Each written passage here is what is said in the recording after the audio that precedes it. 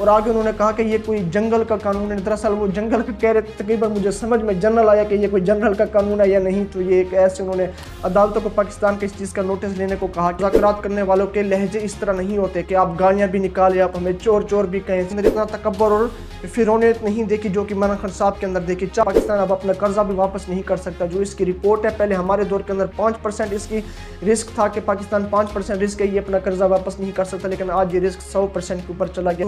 सहूलतकार को ये चीज़ क्यों नहीं नज़र आ रही कि पाकिस्तान की मीशत डूब रही है इकॉनमी गिर रही है? इसके अलावा आप ये देखें कि यहाँ से कंपनीज़ और मैन्युफैक्चर फैक्ट्रीज बंद हो रही है कि पाकिस्तान के हालात आने वाले ये होंगे कोई बैंक भी इनको कर्जा नहीं देगा। तो गैरतमंद आदमी ऐसा ही करेगा जैसा कि आज़म सवाती ने किया।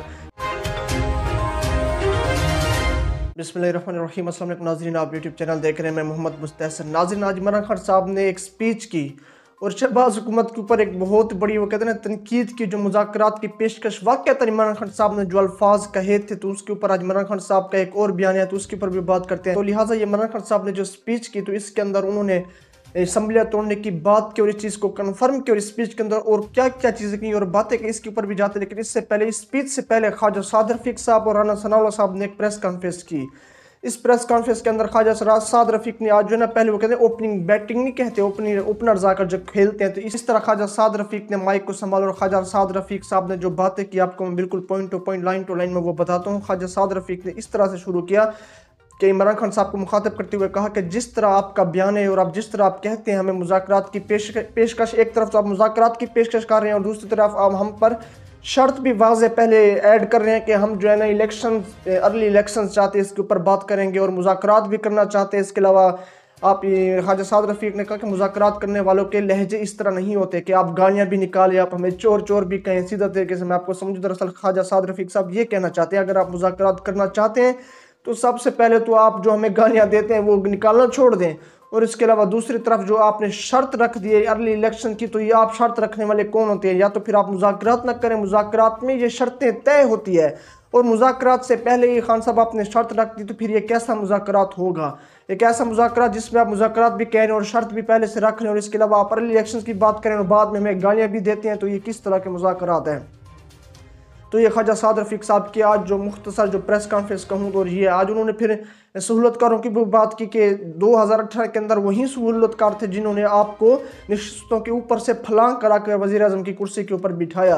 इसके अलावा उन्होंने कहा था, फिरौनियत की भी एक हद होती है, इस शख्स के अंदर हमने इससे भी ज़्यादा पाई। हमने माशाल्लाह का भी दौर देखा, जिसके अंदर हमने लोगों के अंदर इतना तकबर और फिरौनियत नहीं देखी जो कि मना खान साहब के अंदर देखी। चार साल इसने अपनी हुकूमत की, साढ़े तीन साल इसके अंदर हमें इसने सलाम तक नहीं पूछा कि क्या करना है या किस तरह करना है। मतलब किसी चीज़ के ऊपर हुकूमत के अंदर हमसे डिस्कशन नहीं ली तो आज हम इसके साथ डिस्कशन क्यों करें? लेकिन उन्होंने कहा, जैसे कि राना सनालो साहब ने कहा, जैसे कि एक बयानिया होता है कि पोलिटिशियन कभी मुजाकर के दरवाजे बंद नहीं करते। जो कि बयान राना सनालो साहब ने भी दिया तो आज भी हम उसके ऊपर कायम है, लेकिन मुजाकर के दरवाजे हमारे पास बंद नहीं है। लेकिन मुजाकर भी तरीके से होने चाहिए, जिसका कुछ तौर तरीका होता है। सबसे पहले शर्त आप तय नहीं करेंगे। तो इस स्पीच का होना ही था तो कुछ ही देर के बाद इमरान खान साहब जी लाइव आ गए। इमरान खान साहब ने कहा, जी, मैंने आप सबको कब कहा कि मैं मुजाकर कर रहा हूँ? पीडीएम की जमातों से या शहबाज शरीफ से मेरे अल्फाजों का गलत मतलब निकाला गया है और मैंने कब इनको कहा और मैं क्यों इनके साथ मुजाकर की टेबल पर बैठूँगा? मैं इनके साथ क्या मुजाकर करूँगा? आज इमरान खान साहब ने स्पीच के अंदर कहा, मेरा सिर्फ़ मैंने कहा कि असम्बलियाँ तो मैंने वैसे ही तोड़नी ही तोड़िया इमरान खान साहब ने कहा, वो मैंने दिसंबर में इसी मंथ के अंदर इमरान खान साहब ने कहा, मैंने पंजाब और के पी के असम्बलीज डिजोल्व कर देनी है। मैंने सिर्फ़ पी डी एम की जमातों को और शहबाज हुकूमत को फेडरल गवर्नमेंट को इस चीज़ का कहा कि सिक्सटी सिक्स परसेंट तो इस पाकिस्तान के अंदर इलेक्शन होने हैं। तो बाकी के जो बच रहे हैं, बिल्कुल आपने तो बाद में भी कराने तो आप पहले कराने मैंने तो इस चीज़ की बात की तो खान साहब ने आज की स्पीच के अंदर यही सीधे सीधे बात की और कहा कि मैं इनके साथ मुजाकर की मैंने बात ही नहीं की। मैं तो कह रहा हूँ कि छियासठ परसेंट मुल्क के अंदर इलेक्शंस हो रहे हैं तो फिर जो बाकी आम इंतबात आप पहले क्यों नहीं करा देते हैं? तो इमरान खान साहब क्या स्पीच का बिल्कुल आज यहीं का यहीं पॉइंट टू पॉइंट उन्होंने सिर्फ़ यही बात की तो कि परवेज अली साहब ने भी मुझे समरी दे दी और मुकम्मल इख्तियार पंजाब का मेरे पास और के पी के का भी मेरे पास इख्तियार मैं असम्बलीज डिजोल्व कर दूँगा। मैं इसलिए सब्र किया हूँ कि आप भी इस चीज़ के ऊपर बात करें कि इलेक्शन वैसे भी हो रहे हैं, क्यों ना पूरे के पूरे आम इंतबात ही हो जाए? क्योंकि पाकिस्तान की मीशत वाक़ डूबती जा रही है। एक तरफ़ आप देखें कि कंपनीज़ पाकिस्तान के अंदर बिल्कुल बंद हो रही है और वो छोड़ कर वापस जा रही हैं। इसके अलावा आप ये देखें किस तरह इकोनमी नीचे गिरी है डॉलर ऊपर की तरफ़ जा रहे और शहबाज हुकूमत ने जो खाद हासिल की है किसानों के लिए, वो भी बिल्कुल महँगे रेट के ऊपर हासिल की है। तो आप ये देखेंगे, आने वाले दिनों में किसान भी फ़सलें उगाना छोड़ देंगे। तो ये देखेंगे जब आपकी गंदम भी बाहर से इम्पोर्ट होगी। जब आपके मुल्क के अंदर आपकी जो गंदम है, वो भी आप पूरी नहीं कर पाएँगे तो ये देखने वाले हालात होंगे। इमरान खान साहब ने यही कही थी, ये पाकिस्तान अब अपना कर्जा भी वापस नहीं कर सकता। जो इसकी रिपोर्ट है, पहले हमारे दौर के अंदर पाँच परसेंट इसकी रिस्क था कि पाकिस्तान पाँच परसेंट रिस्क है, ये अपना कर्जा वापस नहीं कर सकता। लेकिन आज ये रिस्क सौ परसेंट के ऊपर चला गया कि पाकिस्तान आज अपना कर्जा वापस नहीं कर सकता। तो इसके ऊपर कोई भी बैंक हमें उधार नहीं देगा, कोई भी बैंक हमें भीख नहीं देगा। इमरान खान साहब ने यही बात की कि ये चीज़ जब हम देख रहे हैं, ये बात सहूलतकारों को क्यों नहीं समझ आती? जो लोग, जिन लोगों ने इनको आगे लेकर आए, शहबाज शरीफ को और इन भिकारियों को आगे लेकर आए। ग्यारह सौ अरब रुपए के इनके करप्शन के केसेस माफ़ हुए। एक तो एनआरओ जनरल मुशरफ ने दिया था और दूसरा एनआरओ साहब, सहूलतकारों दरअसल उन्होंने जनरल बाजवा की तरफ़ इशारा किया। कि उसकी सपोर्ट के ऊपर इन्हें एन दिया गया। इसके अलावा वो कहते हैं, आप ये देखिए कि सहूलतकार को ये चीज़ क्यों नहीं नज़र आ रही कि पाकिस्तान की मीशत डूब रही है इकॉनमी गिर रही है। इसके अलावा आप ये देखिए कि यहाँ से कंपनीज़ और मैन्युफैक्चर फैक्ट्रीज बंद हो रही है कि पाकिस्तान के हालात आने वाले ये होंगे कि कोई बैंक भी इनको कर्जा नहीं देगा। और आईएमएफ के साथ भी इनके मुजाकर तय नहीं हो पा रहे। इसके अलावा आज आखिर के अंदर इमरान खान साहब ने यही बात की कि इसम्बलियाँ तो मैंने डिजोल्व करनी है इसी महीने के अंदर। चाहे ये लोग अर्ली इलेक्शन के ऊपर आए या ना आए। ये एक देखने वाली बात है। इमरान खान साहब ने कल के दिन इन्हें मुजाकर की पेशकश की, लेकिन इन लोगों ने संजीदगी से नहीं लिया।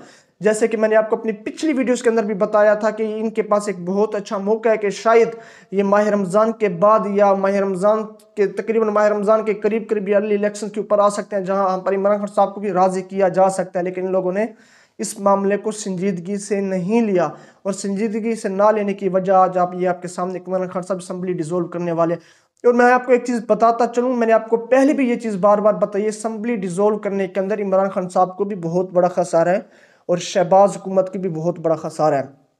इसके अंदर जी जरदारी साहब बिल्कुल न्यूट्रल है। जरदारी साहब का तो लेना ही देना ही नहीं है पंजाब के अंदर, क्योंकि वो तो बिल्कुल सिंध के अंदर ही खेलेंगे।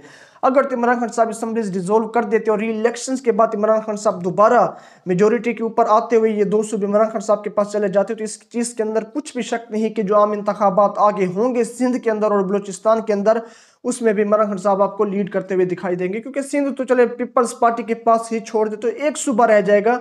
तो इमरान खान साहब की जंग होगी एक सूबे के अंदर, बलोचिस्तान के अंदर, और शहबाज शरीफ के पास। क्योंकि शहबाज शरीफ और नवाज़ शरीफ की ये जो सारी ताकत का गढ़ है, वो पंजाब ही है। अगर तो इन लोगों ने, इन पंजाब अपने हाथ से जाने दिया तो इनके पास हुकूमत ही नहीं रह जाती। आप ये देखिए कि एक वाहिद हुकूमत है, जिनके पास एक सूबा भी नहीं है इस मौजूदा हालात के अंदर। तो मैं यही बात कहना चाहूँ तो इमरान खान साहब के भी इसके अंदर बहुत सारे खसारे हैं। अगर तो इन्होंने असम्बलीज डिजोल्व कर दी तो ये मैं आपको बताता चलूँ इलेक्शन कमीशन की भी मुदाखलत हो सकती है रिज़ल्ट के अंदर। ये एक सोचने वाली बात है कि फिर तो इमरान खान साहब के पास ना तो पावर होगी, ना तो कुछ होगा तो ये किस तरह इलेक्शन कमीशन को मुदाखलत करने से रोकेंगे? और किस तरह ये फेडरल गवर्नमेंट को जिस तरह प्रेशराइज हमेशा करते रहे हैं तो ये किस तरह प्रेशराइज आगे कर पाएँगे? और जिस तरह अगर तो आम इंतबात में आगे बलोचिस्तान और सिंध के अंदर वाक़ता अगर करप्शन हुई और वोटों की चोरी हुई तो इमरान खान साहब के पास इतनी शायद मेजोरिटी हो या ना हो, ये एक सोचने वाली बात है और देखने वाली बात है। तो इमरान खान साहब ने लेकिन फ़िलहाल अपने एमपीएस को ये पैगाम जारी कर दिया कि जो आप अपने अपने हल्कों में निकल जाए और इलेक्शन कंपेन अपनी शुरू कर दे, क्योंकि असम्बलीज डिजोल्व होंगी। चाहे ये फेडरल गवर्नमेंट इलेक्शन की तरफ़ आए, आम इंतबात की तरफ़ या ना आए असम्बलीज डिजोल्व तो मैंने कर देनी है। तो आज एक चीज़ की कन्फर्मेशन हो गई है। लेकिन हमने माजी हाल में देखा कि इमरान खान साहब ने लॉन्ग मार्च के ऊपर भी वो पीछे हट गए तो ये सोचने वाली बात है कि शायद इमरान खान साहब असम्बलीज डिजोल्व ना करें। लेकिन इस चीज़ की आज कन्फर्मेशन 80 बाय 100 परसेंट हो चुकी है कि खान साहब, शायद इस महीने के अंदर असम्बलीज डिजोल्व कर दें। उन्होंने आखिर में आज़म सवाती एक बार बात करते हुए अदलिया से ये मांग की कि आप पाकिस्तान के एक आम इंसान के, आम शहरी के, आप हकूक की हिफाजत करने का हक आपके पास है अदालतों को तो आप किस तरह खामोश स्लो मोटो एक्शन लिया जाए आज़म सवाती के ऊपर एक ऐसा पचहत्तर साल शख्स जिसकी अगर उसकी फैमिली की कोई वीडियो लीक हो जाए, आज़म सवाती के अलावा ये वीडियो किसी की भी हो तो गैरतमंद आदमी ऐसा ही करेगा जैसा कि आज़म सवाती ने किया। कोई बेगैरत ही होगा जो ऐसी वीडियो लीक करे और उस शख्स की ओर वो खामोश रहे तो ऐसी वीडियो अगर किसी की भी लीक की जाती तो ऐसा ही सामने से नज़रिया पेश आता जैसा कि आज़म सवाती ने किया। तो ये एक आज़म सवाती की जो हालात है, आप ये देखिए कि उन्होंने ऐसी बातें की ही क्यों? और आगे उन्होंने कहा कि ये कोई जंगल का कानून है। दरअसल वो जंगल का कह रहे तकरीबन मुझे समझ में जनरल आया कि ये कोई जंगल का कानून है या नहीं। तो ये एक ऐसे उन्होंने अदालतों को पाकिस्तान के इस चीज़ का नोटिस लेने को कहा कि आज़म सवाती के ऊपर एक नोटिस ले, इसकी तहकीकत की जाए कि आज़म सवाती ने कोई ऐसे अल्फाज तो नहीं कि एक ट्वीट के ऊपर उनको पचहत्तर साल शख्स को इतना तशद का निशाना बनाया गया और फिर से गिरफ़्तार किया गया और अभी तक भी उसकी जो हालत और तबीयत आज़म सवाती की ख़राब बताई जा रही है तो इनके ऊपर उन्होंने मांग की आज़म सवाती के साथ हक और फैसला, हक पर फैसला किया जाए। उनके साथ जो हुआ तो फिर ऐसी जो चीज़ें होती है, वो सामने आती है। आज़म सवाती के अलावा किसी भी शख्स के साथ ऐसी चीज़ होती कि उसकी फैमिली की वीडियो लीक होती तो वो ऐसा ही करता। जैसा कि आज़म सवाती ने किया तो इमरान खान साहब की जो आज की स्पीच थी, इसके ऊपर आपकी क्या राय है? आप अपनी राय से मुझे कमेंट्स के अंदर ज़रूर आगा करें। चैनल पर नए तो चैनल को ज़रूर सब्सक्राइब कर लें। तब तक के लिए शुक्रिया।